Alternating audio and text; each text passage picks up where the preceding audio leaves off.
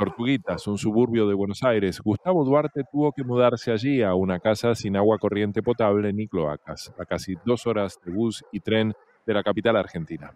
Antes vivía en este departamento, pero le iban a subir 65% el alquiler. Gustavo culpa a la inflación, pero cuando buscaba otra vivienda se encontró con que muchas solo se ofrecían para turistas en Airbnb, Booking, Mercado Libre o Zona Pro. En las plataformas de búsqueda más reconocidas ya está previsto, digamos, eh, el tipo de búsqueda que podés hacer, que es alquiler permanente o temporal.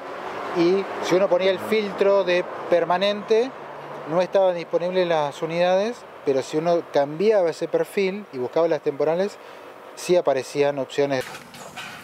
Esas alternativas le resultaban inalcanzables y cotizaban en dólares, no en los devaluados pesos.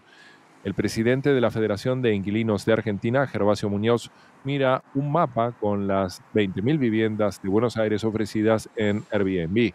Muñoz pide regular los alquileres turísticos como en otras ciudades del mundo, como Brasil, Barcelona, Ámsterdam, Berlín o Nueva York. Que solo se pueda llevar adelante este tipo de negocios en, en zonas muy turísticas, en donde tiene que haber además un porcentaje de habilitaciones para el alquiler turístico y después limitar también la cantidad de noches en las que se puede eh, poner el alquiler turístico. Alejandro es un ingeniero químico jubilado que heredó hace 10 años el apartamento de su madre y hace 8 lo ofrece en alquiler turístico en lugar de permanente. Históricamente en mi familia hemos tenido experiencias de departamentos que hemos alquilado y los inquilinos nunca pagaron el alquiler, así que vivieron gratis dos o tres años. El presidente de la Cámara Inmobiliaria Argentina, Alejandro Benazar, admite que los alquileres turísticos reducen la oferta de los permanentes, pero responsabiliza sobre todo a una ley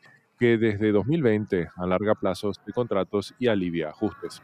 La ley no te permite hacer un contrato menor a tres años y la actualización cada un año. Cada 13 meses, cada 12 meses, volver a actualizar. Ya te comió la inflación.